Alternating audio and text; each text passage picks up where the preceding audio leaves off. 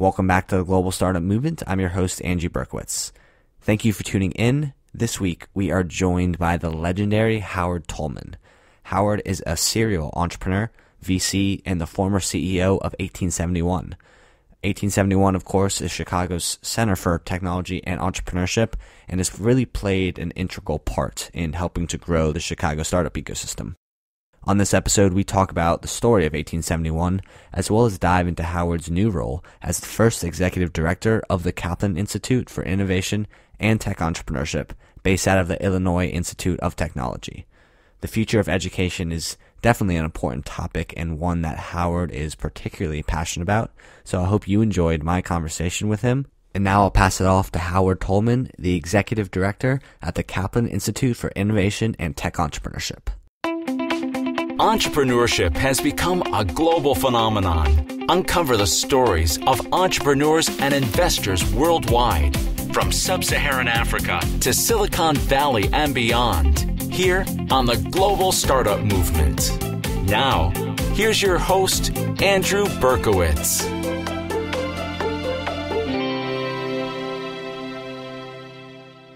So, Howard, thank you so much for joining us. Uh, I would really love for you to start this off just kind of talking about what prompted you to uh, really make the transition from company building to take on more of a, a leadership role within the uh, the Chicago startup ecosystem. Uh, you know, I think that uh, the last 10 years, uh, really our focus, even though we were building companies, was on education. So when we started with uh, buying and transforming Kendall College, when we then went into Experientia and finally into Tribeca Flashpoint, um, all of those were schools, but the real goal was to look at a new kind of uh, school and a new kind of approach, which was experiential learning. It was much more focused on uh, entrepreneurial skills because you know I was increasingly convinced that uh, entrepreneurial skills were really life skills, and that whether you were building a business or building a life, you were going to need to have those skills. And then when we sold Flashpoint um, to Laureate education, uh, the mayor and the governor uh, sort of both, uh, you know, asked me slash uh, insisted that I take over uh, the leadership of 1871.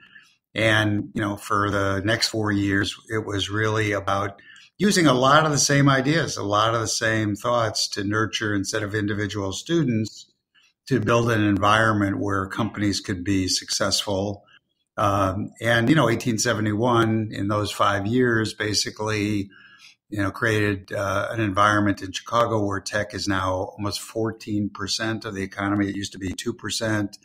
Created about 165,000 jobs.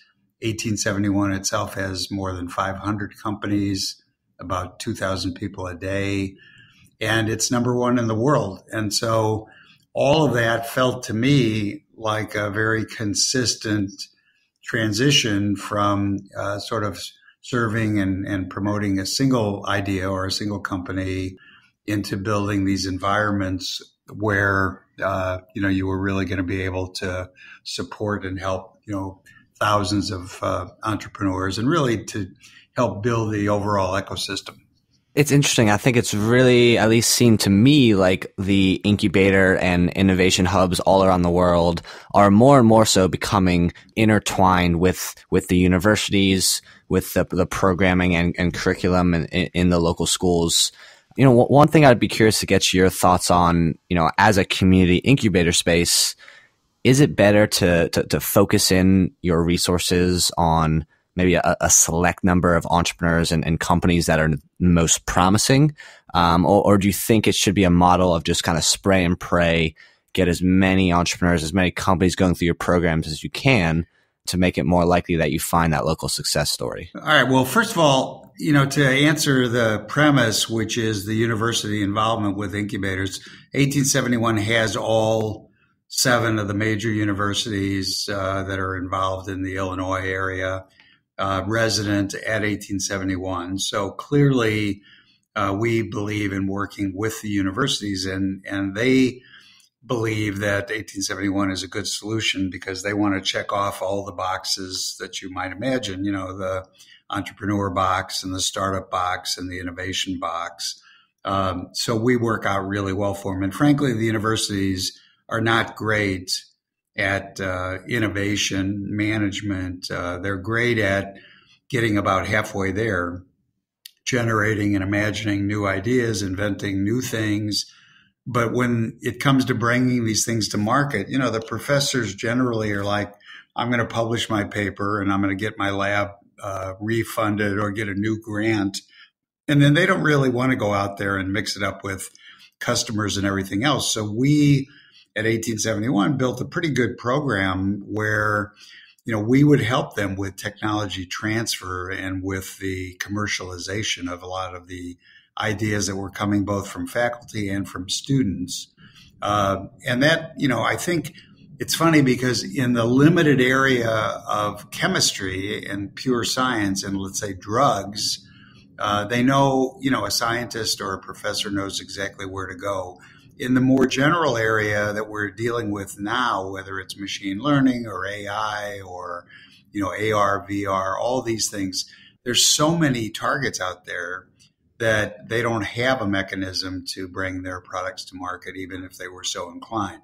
So, having said that, 1871 also has, in addition to you know grown up 1871, about eight uh, smaller incubators, which are in fact a little more along the lines of the second part of your question, which is more focused on specific areas where you have concentrations of dozens of companies working on education, dozens of companies working on uh, food or healthcare or um, IoT or things like that. So the first part of concentration was in fact to do it on a domain specific basis. And we've done a lot of that. And you discover there are tremendous opportunities for lateral learning when you do that.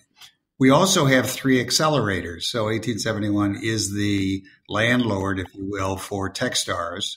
And so we clearly understand the model of taking 10 companies as opposed to 100 companies and focusing resources on them, albeit the accelerators across the country are 12 to 16 weeks, and 1871 is typically 14 to 16 months in terms of how long a company is here as it moves through various uh, developmental and growth stages. Um, we're a nonprofit, so it's a little harder for us to be picky in the sense that if we're going to provide resources to all the companies, um, it's hard to say, and oh, by the way, we're really going to love these few uh, companies. But we we've begun to do that in two ways. First, we have six or seven early stage venture funds here ourselves, and they clearly cherry pick what's going on here.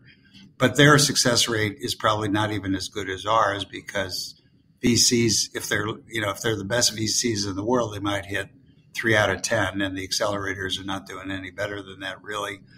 But the second thing we're doing is creating uh, stepped up resources for uh, growth stage companies that want to stay here and have already sort of gone through all the 101 classes and workshops and opportunities. And so, to that extent, we're doing what you described, which is we're doubling down uh, on the companies that are growing and progressing uh, without sacrificing the resources that we're providing across the board. But clearly, you want to do something. And, and, you know, this is an interesting issue, a separate issue, which is these many funds that are popping up everywhere where some guys, you know, three entrepreneurs raise 10 million bucks and call themselves VCs. Um, we don't we don't think that model is going to be successful because the problem with the model is that uh, when you are called upon to double down on your winners, you don't have the, the resources to do that. Now, what a lot of these guys are doing is running around already trying to build their uh, second or third funds so they can do some follow-on investing. But honestly, what we're what we're doing is, uh, in fact, focusing on uh, adding resources to support the companies that are uh, succeeding. The last thing I would tell you is that uh, the other shift that we're seeing is going forward. Technology is going to be even more at the center of the startups that uh, that are going to be successful within you know our systems, as opposed to technology being the enabler for a great marketing idea or stuff like that. Uh, you know, we're just not going to have you know 25 more dog and cat you know dating sites or you know services they'll send somebody out to brush your teeth or things like that. We're we're really seeing a shift toward substantive areas that are all going to have to have real technology sort of at their base. And I think that's going to change the game a lot too. Right. And I mean, I, I know you're, you're personally super passionate when it comes to edtech and how technology, machine learning, all these new technologies can have an impact on, on education. And so, you know, one thing I'd be curious to hear from you on is really just where is the future of edtech headed? Do you think that it's more of a disruptive force for the current infrastructure, or do you think that it's going to be something, uh, you know, more complementary? I think that ed tech and healthcare are the two hardest areas that we're going to have to deal with. Um, I don't, you know, I think you you could actually see improvements in the way government services are provided more quickly than you'll see improvements in healthcare and in education, which is depressing but it also is a comp, it's a comment on right. what low hanging fruit it is to improve, improve the productivity of, you know, government services. But what I would tell you is it is disruptive, but it's uh, going to take probably another generation in education to outlive and outlast the old teachers. And when I say the old teachers, I mean the people that think that the way the technology should enter the classroom is that they should get a tech assistant or help with technology rather than learning and implementing the technology themselves. Having said that, we've got two or three companies that are absolutely already disruptive in the area of creating tools for personalized learning. And this is the big change. The big change at the high school level uh, is going to be differentiated learning where every student will have a device and it won't be one size fits all. And the, the teacher will be more of a coach with a dashboard seeing how the students are doing as they progress. Um, and some will be remedial and some will be extra credit and some will be working on, you know, par. But that's what the classroom is going to look like. And we're seeing a, a fair amount of that um, being invented and it's slowly being adopted. At the college level, it's going to be, I think, a different situation. I think that the top 30 most expensive colleges will continue to be, you know, completely elitist. And, you know, their only problem is they can't figure out what to do with the fact that, um, you know, on the merits, uh, mathematically, they should have 40 or 50% of their class you know, be from China or from India, and they just can't live with that uh, scenario. So they have some. They're, going to have some really interesting challenges. The rest of the the rest of the world, which can't afford the tuition uh, at these, you know, super colleges, uh, is going to have to figure out how to create a lot more of a connection between, excuse me, what the students are paying for and what the implications are for them to actually be employable in the you know digital future. And so they're going to have to change. I think we're going to see more and more vocational training. It'll be high end vocational training, but these are really the jobs that we're lacking right now. We're lacking people to fill those jobs. And, excuse me, by and large, those are pretty good paying jobs and a significant portion of them are not exportable jobs in the sense that uh, they're not going to be uh, jobs that are going to be done outside of the United States. Yeah, I mean, I think it's tough because the structure of universities don't necessarily allow quick decisions to be made.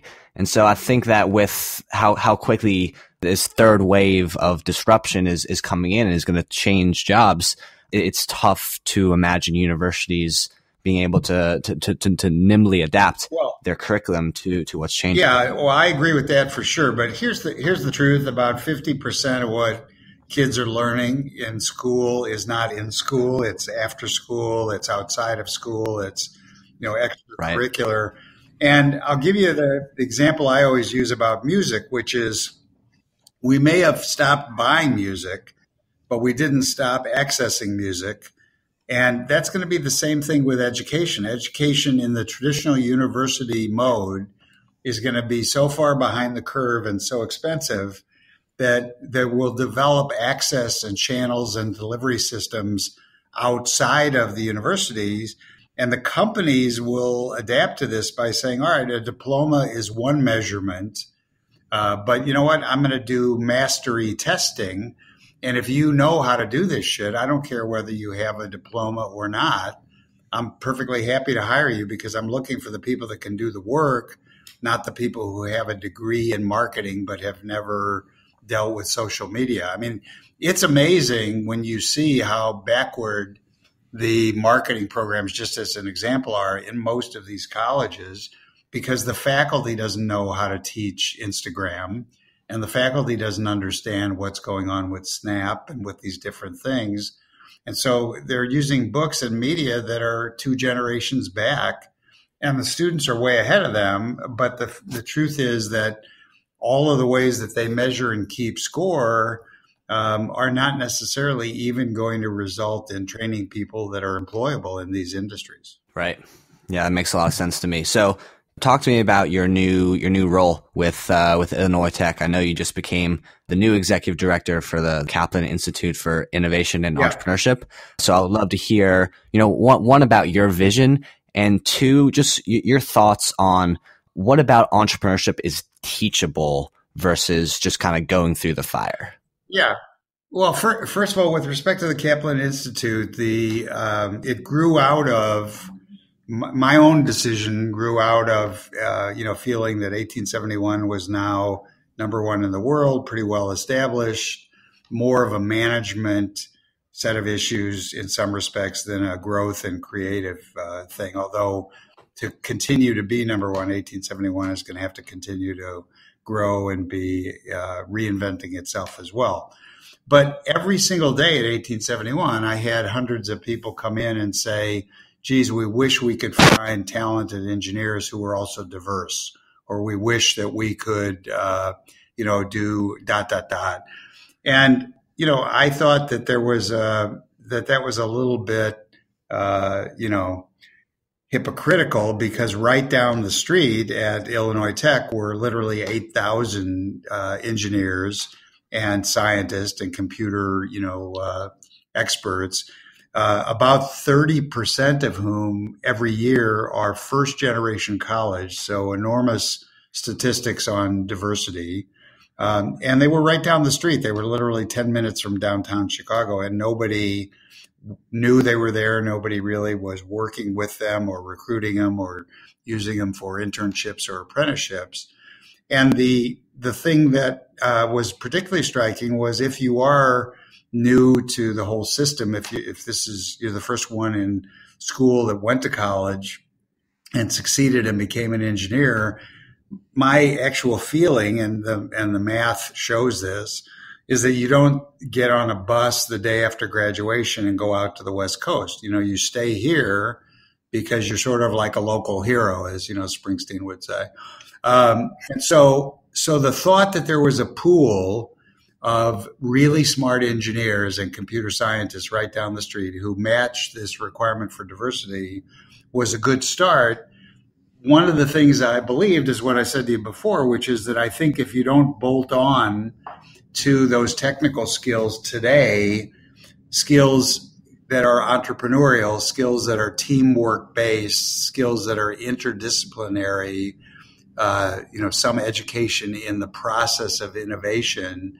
I think you don't build the right kind of employees for the challenges going forward. So, so the Kaplan Institute is about 70,000 square feet of space entirely devoted to training these students or bolting on to these students entrepreneurial skills and innovation skills, both of which are scientific ideas. And to your point about can you teach it or do you have to be born into it?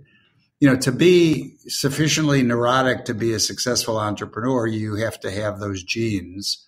But having said that, if you take people who have the inclination, you can make them far better entrepreneurs by teaching them the methodology and the processes and all of the ways to go about being smart while you're, you know, building your business. So it's half and half. I think that we're what we're going to do is have thousands of students. Some significant portion of them are going to want to eventually build their own businesses, go work for startups, and the thought that they now are going to have access, in addition to their technical skills and smarts, uh, to entrepreneurial training and training in the science of innovation as well, which, by the way, is equally mechanical. I mean, innovation, as opposed to inventing something, innovating is about taking existing processes and making them better and smarter. And that's a that's an iteration process. It's really something that you can reduce to a very practical set of skills. And if you stick to it, you become very, very successful at it. I mean, when we see these big corporations, most of the immediate lowest hanging fruit, most of the ways to save tens of millions of dollars has very little to do with rocket science and a whole lot to do with just putting in bots and putting in systems that eliminate hundreds of thousands of man hours that are just being pissed away at these companies. So, Howard, we always finish off with a quick fire round, four questions up to 60 seconds each. How does that sound? That sounds good. Who's a startup CEO in Chicago that you admire the most right now and why? Well, we've got three. We got a sort of a newbie who's Mark Lawrence from Spot Hero, who I'm very excited about how Spot Hero is doing, and particularly the fact that they nailed it for several years before they scaled it, and then they exploded and they didn't run into the typical growth risks that uh, many companies do. And on the other end is Eric Lefkofsky, who is at Tempus, and they're trying to use DNA to really uh, develop some abilities to manage and cure cancer. So I, I feel like those are two extremes. You know, one, find me a place to park, and two, save my life. But both of those guys are doing amazing work. What's the best tech blog or newsletter for us to keep up to date on what's happening in the Chicago tech ecosystem? You know, I think Built in Chicago is really good. And then Chicago Inno, I-N-N-O, both are pretty much on top of the stuff. And then John Pletz, who writes the tech column for Crain's Chicago, is, is pretty much on top of the scene. What's your favorite business book and why? You know, I just read Scott Galloway's The Four, and about 80% of it was uh, the smartest stuff I've read in years. Scott teaches at NYU, he's a professor there. the 20% that I wasn't crazy about was, you know, talking about uh, who's your head and who's your heart and who's your genitals and stuff like that. I he got a little uh, philosophical for me, but in terms of his analysis of the impact of Google and Facebook and uh, you know the the guys who are really driving the train, um, he's as smart as it gets. I'll definitely have to add that to my reading list. Sounds super interesting. But finally, uh, what's your favorite thing about living in Chicago? You know, Chicago is just super manageable. I mean, I, I lived for a long time in New York and Seattle. I mean, you know, I've traveled all over, but I find that day in and day out, the, uh, this basically the, quality of life is infinitely better than in any of the other three or four places that I would live for other benefits. You know, I, I, love the theater. I mean, I wouldn't mind living in Manhattan, but you can't live in Manhattan. I mean, I love San Francisco, the food culture and stuff, but again, you can't live there. And so in Chicago, you have a lot of the best of uh, all of those worlds. And you don't just have the daily grind of paying, you know, $14 for a quart of orange juice. Awesome. Well, Howard, thank you so much for your time. We really appreciate you coming on the show. Great. Happy to do it.